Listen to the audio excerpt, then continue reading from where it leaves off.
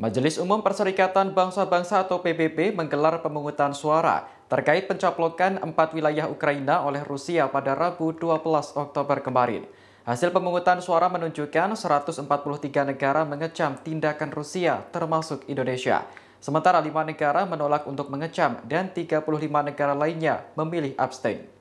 Dikutip dari CNA, lima negara yang menentang resolusi kecaman itu adalah Rusia, Suriah, Belarus, Korea Utara, dan Nicaragua. Sementara 35 negara memilih abstain, antara lain China, India, Pakistan, Thailand, Laos, dan Afrika Selatan.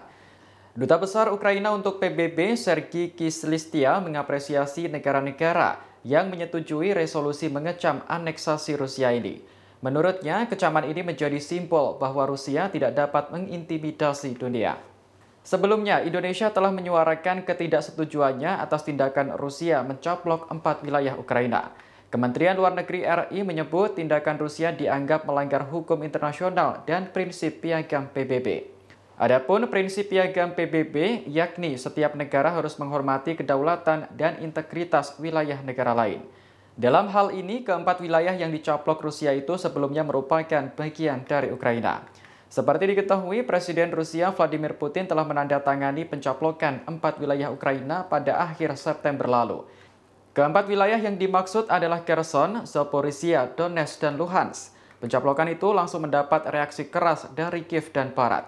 Mereka menganggap referendum digelar di bawah paksaan dan todongan senjata.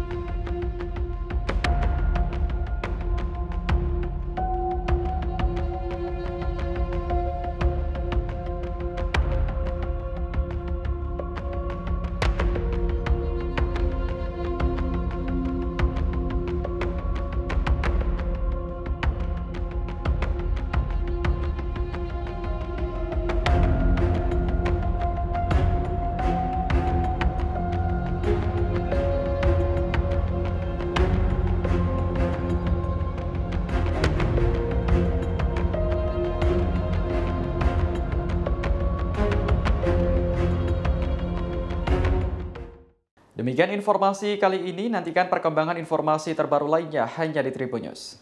Terima kasih sudah nonton, jangan lupa like, subscribe, dan share ya!